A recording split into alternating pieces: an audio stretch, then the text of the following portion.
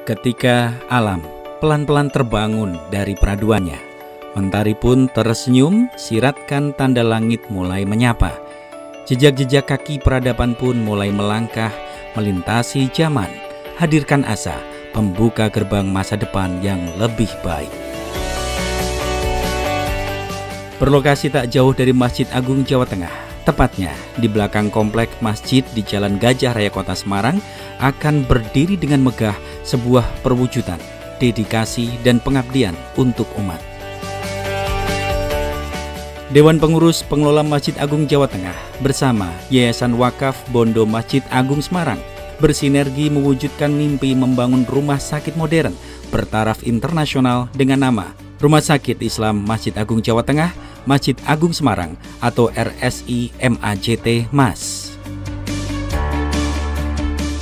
Pembangunan RSI MAJT MAS ini atas kerjasama dengan BPKH, Badan Pengelola Keuangan Haji, Basnas RI, Basnas Jawa Tengah, BWI, Badan Wakaf Indonesia, dan masyarakat.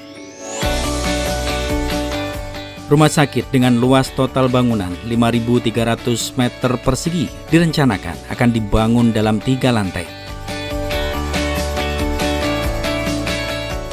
Lantai satu dengan alokasi pembangunan untuk hall, resepsionis, polirawat jalan, laboratorium, radiologi, IGD, instalasi bedah sentral, ICU, ICCU, ruang gizi dan linen, serta ruang pemulasaran jenazah.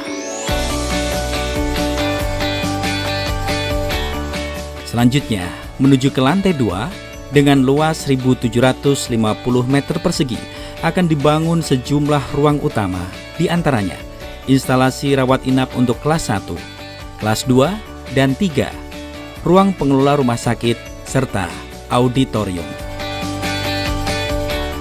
Sedangkan lantai 3 dengan luas 1050 meter persegi akan difungsikan sebagai ruang instalasi rawat inap VIP dan juga kelas 1.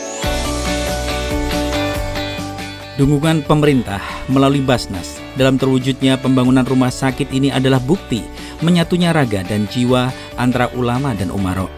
Kehadiran rumah sakit ini diyakini akan mampu memberikan kemanfaatan bagi masyarakat, terlebih bagi masyarakat miskin yang membutuhkan, memaksimalkan profesionalisme serta bagian pusat bisnis perekonomian dan pendidikan.